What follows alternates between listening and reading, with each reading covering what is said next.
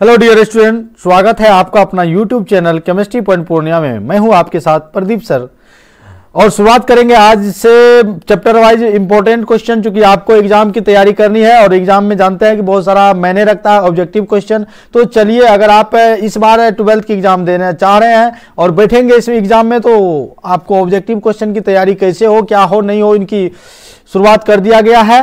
और आपको एक सूचना, अगर आप हमारे टेलीग्राम ग्रुप से ज्वाइन करना चाहते हैं अच्छे अच्छे मटेरियल चाहते हैं, और तो जल्दी से जुड़िए हमारे टेलीग्राम ग्रुप में, और टेलीग्राम ग्रुप में सबसे अच्छा अच्छा क्वेश्चन ऑब्जेक्टिव हो सब्जेक्टिव हो, बहुत सारे टॉपिक दिए जाते हैं इसमें, और इसमें सर्च कीजिएगा केमिस्ट्री पॉइंट पूर्णिया अब जुड़ दीजिएगा दूसरी बात है डिस्क्रिप्शन में इसमें लिंक दिया हुआ रहेगा। तो चलिए शुरुआत करते हैं। ये रहा आपका क्वेश्चन स्क्रीन पर। देखिए, ये क्वेश्चन है यूनिट सेल में कोने की संख्या होती है। अगर इस तरह के क्वेश्चन आते हैं यूनिट सेल में कोने की संख्या तो ऑप्शन है आपका, देखिए, छह, आठ, दस, बारह। तो ऑप्शन इसका भैया करेक्ट आंसर है आठ। यूनिट सेल में कोने की संख्या आठ होती है। अब आपको रहेगा कि भाई कैसे होता है यूनिट सेल देखे। तो क्या आप देखना चाहते हैं? अगर आप देखना चाहते हैं, जल्दी से यस या नो बोलिए, और आपको मैं दिखाता हूँ।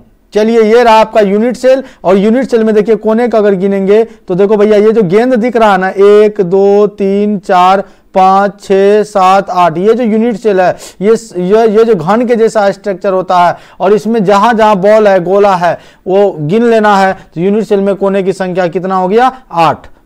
चलिए नेक्स्ट क्वेश्चन पे आते हैं। नेक्स्ट क्वेश्चन है आपका है यूनिट सेल के पैरामीटर होते हैं। आपके ऑप्शन है छः आठ, दस, बारह। ऑप्शन आपको दिख रहा होगा तो आपका करेक्ट आंसर है छः अब आप कहेगा, सर, कैसे होता है पैरामीटर? बताइए। तो पैरामीटर इसके होते हैं A B C alpha, beta, gamma. ये जो आप स्ट्रक्चर देख रहे हैं, दिख रहा है आपको स्क्रीन पर? ये आपको स्ट्रक्चर दिख रहा होगा। इधर आपका एक्स एक्सिस है, इधर आपका वाई एक्सिस है, इधर आपका जेड एक्सिस देखिए, तीनों एक्सिस है। यहाँ ए बी सी तीन भुजाएँ हैं। अल्फ़ा, बीटा, गामा, तीन एंगल है। तो तीन और तीन जोड़िएगा छ तो बताइए, पैरामीटर या प्रचाल पूछेगा तो आपके कितने होंगे? छः नेक्स्ट क्वेश्चन फिर आते हैं। नेक्स्ट क्वेश्चन आपके स्क्रीन पर सरल घनीय एकक कोष्टिका में कुल परमाणु की संख्या होता है। तो सरल घनीय एकक कोष्टिका में कुल परमाणु हो जाएगा आंसर एक। एक। अगर कोई पूछेगा, सरल घनीय का कोष्टिका में कुल परमाणु होता है तो आप क्या बोलेंगे? एक होता है। देखिए, कैसे होता है तो मैं आपको बता दूँ। जरा से इसको बड़ा गौर से समझिएगा। यहाँ मैंने लिखा unit cell simple cubic body centre और एम बी सी सी लिखा हुआ है और फेस सेंटर यानी face centre cubic unit cell तीन यूनिट सेल आपको याद रखना है। सिंपल क्यूबिक का मतलब होता है सरल घनीय बॉडी सेंटर का मतलब होता है अंतर केंद्रित और फेस सेंटर का मतलब होता है फलक केंद्रित। इसमें सिंपल क्यूबिक यूनिट सेल में परमाणु केवल कोना पर होता है, इसलिए और एक कोना का योगदान होता है, एक बटे आठ आठ गुना एक बटे आठ करेंगे एक, यानी कुल परमाणु इसमें हो गया एक। और बॉडी सेंटर की बात करें तो बॉडी सेंटर में कुल परमाणु कोने के अलावे बॉडी में रहता है सेंटर में रहता है तो एक इसका, एक बॉडी का टोटल परमाणु हो जाएगा दो, आपको दिख रहा होगा। और फेस सेंटर में परमाणु कोने पे रहता है, कोने के अलावे फेस पर रहता है तो कोना हो गया एक और फेस से छह गुना एक बटे दो करेंगे, तीन आएगा, तीन एक चार होगा टोटल चार होगा। और यहाँ जो हमने लिखा volume occupied by the particle in percentage यानी कितना प्रतिशत ये छेकता है? तो सरल घनीय का संकुलन क्षमता जिसको हम लोग बोलते हैं, वो होता है बावन दशमलव चार प्रतिशत और दूसरा का होता है अड़सठ परसेंट और तीसरा का होता है चौहत्तर परसेंट। अब याद रखेंगे, सरल घनीय का कोष्टिका कुल परमाणु कितना हो गया? एक। नेक्स्ट क्वेश्चन आपके स्क्रीन पर दिख रहा होगा और आप देखिए क्वेश्चन है अंत केंद्रित घनीय का कोष्टिका में कुल परमाणु होता है। ऑप्शन दिए हम आपको। बताइए जल्दी से कॉमेंट में। जल्दी से बताइए। अगर आपको अच्छा लग रहा है ये सब चीज़ तो हमारे चैनल में अगर आप पहली बार हैं तो जल्दी से सब्सक्राइब कर लीजिए। तो इसका करेक्ट आंसर होगा दो, अभी मैंने बताया। अंत केंद्रित घनिया एक कोष्टिका में कुल परमाणु होगा दो। नेक्स्ट क्वेश्चन, देखिए फलक केंद्रित घनिया एक कोशिका में कुल परमाणु होता है। ऑप्शन है आपका एक, दो, तीन, चार। अभी मैंने जस्ट आपको बताया फलक केंद्रित में कुल परमाणु हो गया चार। मज़ा आ रहा है? अगर मज़ा आ रहा है तो यस नो आप लिखते चलेंगे। कमेंट के माध्यम से अच्छा से लिखेंगे। जो अगर कोई टॉपिक आपका, आपको नहीं समझ में आता तो उसका भी आप कमेंट करेंगे। तो चलिए जल्दी ज़्यादा से ज़्यादा शेयर भी करेंगे ताकि और सब बच्चे को जानकारी मिल जाए कि चलिए अब ऑब्जेक्टिव का लाइव शुरू हो चुका है। नेक्स्ट क्वेश्चन आपके लिए। सरल घनीय एकाक कोष्टिका में संकुलन क्षमता का कितना प्रतिशत होता है? तो अभी मैंने जस्ट बताया था बावन दशमलव तीन प्रतिशत। तो इसका करेक्ट आंसर हो गया बावन दशमलव तीन प्रतिशत। नेक्स्ट क्वेश्चन आपके लिए अंत केंद्रित घनीय एकाक कोष्टिका का संकुलन क्षमता। तो अंत केंद्रित बोलेगा तो अड़सठ परसेंट सरल घनीय पूछेगा तो बावन दशमलव तीन प्रतिशत। अगर आपको कोई पूछेगा फलक केंद्रित, इसका चौहत्तर प्रतिशत। तो चलिए नेक्स्ट क्वेश्चन की ओर हम लोग जाते हैं। ये है आपके लिए नेक्स्ट क्वेश्चन बताइए इसका आंसर आपको खुद देना है। बताइए क्वेश्चन है, फलक केंद्रित घनीय एकक कोष्टिका में संकुलन क्षमता कितना प्रतिशत होगा? आंसर कितना हो जाएगा बच्चों? चौहत्तर प्रतिशत। यहाँ इस तरह का और क्वेश्चन पूछेंगे। सरल घनीय एकक कोष्टिका में रिक्तियाँ का उपसह संयोजन संख्या। तो 100 में से जितना होता है उसको घटा देंगे। जैसे यहाँ ही अगर इस तरह का क्वेश्चन रहता फलक केंद्रित घनीय एकक कोष्टिका में जो है, रिक्तियाँ का वॉइड का संकुलन क्षमता कितना होगा? तो आपको यहाँ पर 100 में से चौहत्तर घटाते तो आपका आता कितना? 26 प्रतिशत आंसर। तो ये वॉइड का है। अगर फलक केंद्रित का रहता तो चौहत्तर प्रतिशत। चलिए नेक्स्ट क्वेश्चन आपके लिए ये रहा।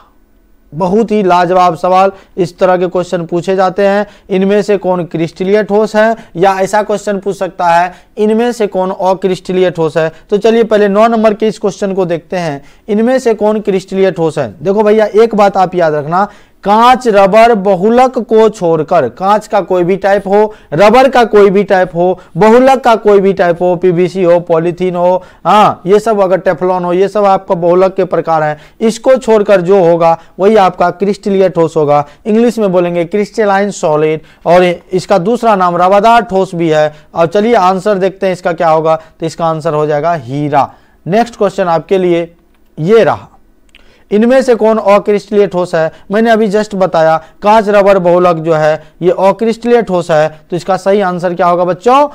इनमें से सभी। कांच भी है, रबर भी है, बहुलक भी है और क्रिस्टलीय ठोस है। अगर इस तरह के क्वेश्चन एग्ज़ाम में आएँगे तो आपको उम्मीद है कि आप इस क्वेश्चन को बना के आएँगे पूरा अच्छे से, ईमानदारी से। चलिए नेक्स्ट आपके लिए।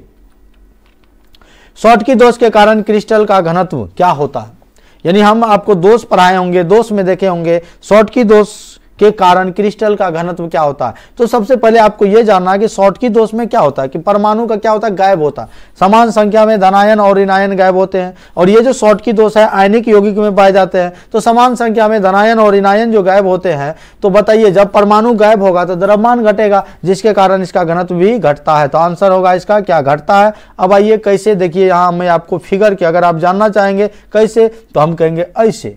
देखिए, ये आपका फिगर है शॉर्ट की डिफेक्ट में ए प्लस है बी माइनस है। देखिए, आप दिख रहा है आपको A plus B minus A plus B minus दिख रहा है इस तरह से। यहाँ से गायब हो गया है बी माइनस यहाँ से गायब कर दिए बी माइनस यहाँ से गायब कर दिए ए प्लस यहाँ से और कोई जो है, ऋणायन या धनायन गायब है। तो बताइए, यहाँ से परमाणु गया है। परमाणु जाने के कारण उसका द्रव्यमान तो घटेगा। द्रव्यमान भैया, जब परमाणु गायब होगा तो द्रव्यमान घटेगा और द्रव्यमान जब घटेगा तो घनत्व भी घटेगा। क्यों? क्योंकि हम लोग जानते हैं घनत्व बराबर होता है द्रव्यमान बटे आयतन। अगर द्रव्यमान बढ़ेगा तो घनत्व भी बढ़ेगा द्रव्यमान घटेगा तो घनत्व भी घटेगा। समझ में आ रहा है? समझ में आया? अगर इस तरह के क्वेश्चन रहेंगे शॉर्ट की दोष के कारण क्रिस्टल का घनत्व क्या होगा? तो आपका आंसर होना चाहिए, घटता है। क्या याद रखेगा? घटता है। चलिए आगे बढ़ते हैं। आपके लिए ये रहा बहुत ही महत्वपूर्ण प्रश्न जो आपको 12 नंबर में दिख रहा है। देखिए, ये क्वेश्चन है। फ्रेंकल दोष के कारण क्रिस्टल का घनत्व क्या होता है? ये बोर्ड में भी क्वेश्चन पूछा गया है इस तरह के क्वेश्चन क्योंकि देखो भाई, फ्रेंकल दोष में होता क्या है? तो परमाणु ना तो जाता है, ना तो आता है तो इसका सही आंसर हमारा क्या है? अपरिवर्तित रहता है, क्योंकि द्रव्यमान ना ही बढ़ेगा, ना ही घटेगा। अब देखिए कैसे तो ये है आपका फ्रेंकल डिफेक्ट। इसमें परमाणु गायब नहीं होता, इसी क्रिस्टल में रहता है, बस उसी के अंतराकाशीय स्थान में आ जाता है। क्योंकि परमाणु इस क्रिस्टल से गायब नहीं हुआ है, ना ही गया है, ना ही आया है तो आप कह सकते हैं, द्रव्यमान अनचेंज होगा, यानी नहीं बदलेगा, उसी तरह घनत्व भी इसका नहीं बदलेगा। मैं आशा करता हूँ आपको ये नया टेक्निक वाला वीडियो, नया टेक्निकल वीडियो अच्छा पसंद करते होंगे, पसंद आ रहा होगा। लाइक करिए शेयर करिए सब्सक्राइब करिए, जल्दी से जल्दी करते रहिए। आपको लिए, आपके लिए इसी तरह का मज़ेदार क्वेश्चन मज़ेदार से मज़ेदार चीज़ आपको लाते रहेंगे। बस आपको हमेशा सपोर्ट में रहना है। अगर आपको अच्छा लगे तब। चलिए नेक्स्ट क्वेश्चन आपके लिए। क्रिस्टल रंग, के रंगीन होने का कारण क्या है? यह भी बिहार बोर्ड में क्वेश्चन पूछा गया है। आपको क्वेश्चन बैंक में मिल जाएगा। तो इसका सही आंसर है एप केंद्र। एप केंद्र के कारण ही क्रिस्टल क्या होते हैं? रंगीन होते हैं। क्रिस्टल के रंगीन होने का कारण क्या है बच्चों? एप केंद्र एप केंद्र। चलिए अगला क्वेश्चन आपके लिए। यदि शुद्ध सिलिकन में क्वेश्चन को पढ़िएगा, यदि शुद्ध सिलिकन में बोरन को मिलाया जाता है तो किस प्रकार का अर्धचालक प्राप्त होगा? ये जो शुद्ध सिलिकन है, सिलिकन और जर्मेनियम शुद्ध अर्धचालक होता है। इसमें हम बताए थे, अगर बोरन को मिलाओगे तो पहले वाले ग्रुप को मिलाओगे तो पी टाइप होगा, और बाद वाले ग्रुप को मिलाओगे एन टाइप होगा। तो चलिए इसका सिलिकन में बोरन मिलाया गया तो सही आंसर होगा इसका पी टाइप क्यों भैया? क्योंकि सिलिकॉन में जो बोरन को मिला है बोरन वर्ग तेरह का एलिमेंट है, इसलिए यह पी टाइप होगा। नेक्स्ट क्वेश्चन आपके लिए, चलिए। इनमें से कौन विद्युत के सुचालक होते हैं? सुचालक का मतलब तो आप लोग जानते होंगे। सुचालक मतलब है जिससे करंट पास करे। आंसर हमारा है ग्रेफाइट जिससे करंट पास कर जाएगा, वो हो जाएगा सुचालक। जिससे करंट पास नहीं करेगा, वो होगा कुचालक। तो इसका सही आंसर है ऑप्शन है, हीरा ग्रेफाइट लकड़ी, इनमें से कोई नहीं। तो भैया, ना हीरा से करंट पास करेगा, ना ही लकड़ी से करेगा, और करंट पास करेगा किससे? तो ग्रेफाइट से तो इसका सही आंसर हो जाएगा ग्रेफाइट आपका लिए ये क्वेश्चन देखिए, इनमें से कौन विद्युत के कुछ चालक हैं? लोहा ग्रेफाइट लकड़ी, इनमें से कोई नहीं। लोहा ग्रेफाइट लकड़ी, इनमें से कोई नहीं। तो सही आंसर हमारा हो जाएगा लकड़ी, क्योंकि जिससे करंट पास नहीं करेगा, वो हमारा विद्युत के कुचालक होगा। चलिए अगला प्रश्न आपके लिए स्क्रीन पर। इनमें से कौन अनुचुंबकीय पदार्थ है? या इनमें से कौन प्रति चुंबकीय पदार्थ है? मैं यहाँ पर आपको एक झकास, धमाकेदार ट्रिक देने वाला हूँ। अगर आपको यह ट्रिक अच्छी लगती है तो आप पूरा इस तरह के प्रश्न को आप बना पाएँगे, याद रखेंगे। चलिए इसका सही आंसर हमारा क्या है? O2 क्या है? O2 क्या है? O2 अब कहिएगा, सर, कैसे? यहाँ पर ये जो आप दिख रहा है, ये जो यहाँ पहले क्या करेंगे, कोई भी चीज़ देगा ना, चार ऑप्शन दिया हुआ है ना, इस तरह का अगर आपको ऑप्शन दिए जाएँगे तो पहले आप इलेक्ट्रॉन को जोड़िएगा। इलेक्ट्रॉन को जोड़िएगा तो या तो सम संख्या होगा, या तो विषम संख्या होगा। सम संख्या को इवेन नंबर बोलेंगे ऑर्डर नंबर बोलेंगे विषम संख्या को। इलेक्ट्रॉन को जब भी आप जोड़िएगा तो या तो सम संख्या होगा, या तो विषम संख्या होगा। अगर भैया सम संख्या होगा तो सम संख्या होगा तो वो डायमैग्नेटिक होगा। अगर विषम संख्या होगा तो वो पारामैग्नेटिक होगा। समझ में आ रही बात? और जैसे अपवाद है, यहाँ दो अपवाद आप याद रखिएगा ओ और बी टू और बी क्या याद रखिएगा? ये अपवाद है। कैसे? अगर ऑक्सीजन का परमाणु संख्या हम लोग जानते हैं आठ होता है, दो ऑक्सीजन है तो आठ दुना सोलह इलेक्ट्रॉन होगा। यहाँ बोरन का परमाणु संख्या पाँच होता है, पाँच दुना दस इलेक्ट्रॉन तो बी टू में दस इलेक्ट्रॉन ओ टू में सोलह इलेक्ट्रॉन दोनों तो सम संख्या है, होना चाहिए डायमैग्नेटिक बोलिए बोस होना चाहिए कि नहीं होना चाहिए? लेकिन यही अपवाद है, ये दोनों क्या है? पारामैग्नेटिक है। याद रखिएगा, ये होना चाहिए डायमैग्नेटिक इस ट्रिक के अनुसार, लेकिन ये डायमैग्नेटिक नहीं है, ये पारामैग्नेटिक है। चलिए आगे क्वेश्चन आपके लिए।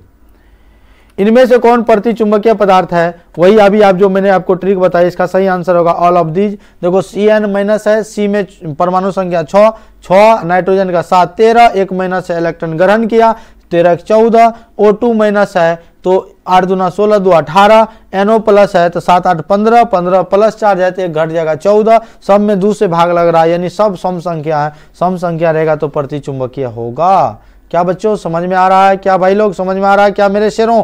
आप लोग को समझ में आ रहा है? फुल्ली एनर्जेटिक एकदम। देखिए, ये वीडियो आपके लिए बहुत ही अच्छा से बनाया गया है। और नेक्स्ट क्वेश्चन आपके लिए, देखिए, सरल घनीय एकक कोष्टिका का उप संयोजन संख्या होता है। सरल घनीय एकक कोष्टिका का उप संयोजन संख्या अगर आपसे कोई पूछेगा तो कहिएगा क्या होता है? छ होता है। सरल घनीय का क्या होता है? छ होता है। नेक्स्ट क्वेश्चन आपके लिए अंत केंद्रित का पूछेगा तो कहिएगा आठ होता है, जिसका आंसर हो जाएगा आठ। अगर आपसे पूछेगा, फलक केंद्रित घनीय का कोष्टिका का उप संयोजन संख्या तो इसका होता है बारह तो आप एफसीसी रहेगा तो बारह आप याद रखिएगा। नेक्स्ट क्वेश्चन है कि इनमें से कौन विद्युत के सुचालक हैं? चार प्रकार का हम क्रिस्टलीय ठोस का जब वर्गीकरण बताए थे तो ये चार प्रकार के होते हैं। आयनिक ठोस, सहसंयोजक ठोस, धात्विक ठोस और आणविक ठोस। आयनिक ठोस में यहाँ अपवाद है।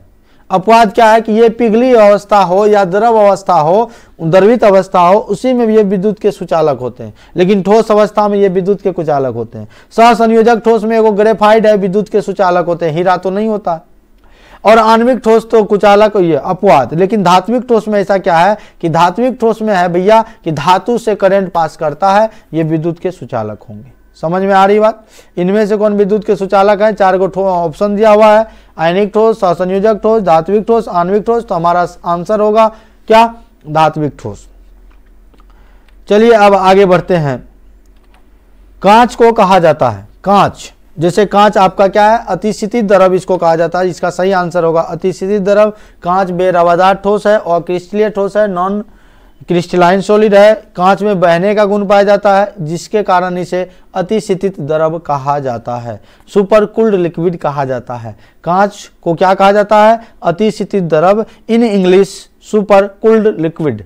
Next question आपके स्क्रीन पर, ये रहा कंप्यूटर महाराज, स्क्रीन पर क्वेश्चन को दिखाया जाए। ये रहा आपका क्वेश्चन, सोडियम क्लोराइड की संरचना होती है, ऑप्शन भी दिखाइए। ऑप्शन है, सरल घनीय अंत केंद्रित फलक केंद्रित इनमें से कोई नहीं। चलिए आप क्या टिक मारेंगे? अगर आप टिक नहीं मारना चाहते, जानना चाहते हैं तो इसका क्या होगा? सरल घनीय होगा। नेक्स्ट क्वेश्चन आपके लिए। चलिए कंप्यूटर महाराज, दिखाइए, इनमें से कौन आयनिक ठोस है? देखो भैया, अगर पूछेगा, इनमें से कौन धात्विक ठोस है? तो जो धातु होगा तो धात्विक ठोस होगा। जो अधातु होगा, सहसंयोजक ठोस होगा। और जो अणु होगा आणविक ठोस होगा और जो आयंस होंगे आयंस में जो टूटेगा, जो आयन से मिलकर बना होगा, वो आयनिक ठोस है। तो क्वेश्चन क्या है? इनमें से कौन आयनिक ठोस है? आयनिक ठोस हमारा देखो भैया C six S six benzene जो है, आपका अणु के रूप में है सीओ टू अणु के रूप में है डायमंड तो आपका संयोजक ठोस है डायमंड मतलब हीरा। और बचा क्या? L I F L I F जो है, ये लिथियम पर प्लस चार्ज होगा फ्लोरिन पर माइनस चार्ज होगा तो हमारा सही आंसर क्या होगा? एल आई एफ़ आशा करता हूँ कि इन 25 क्वेश्चन को आप समझ गए होंगे। 25 क्वेश्चन आपको याद हो गया होगा। अगर आपको पूरा अच्छा से, पूरा ऑब्जेक्टिव का क्वेश्चन का तैयारी करना है तो हमारे चैनल से जुड़ जाइए। हमारे चैनल को जो अभी तक सब्सक्राइब नहीं किए हैं, कर दीजिए। और अगर नेक्स्ट वीडियो चाहते हैं तो जुड़े रहिए इसी तरह से। अगले दिन नेक्स्ट वीडियो अपलोड किया जाएगा। धन्यवाद।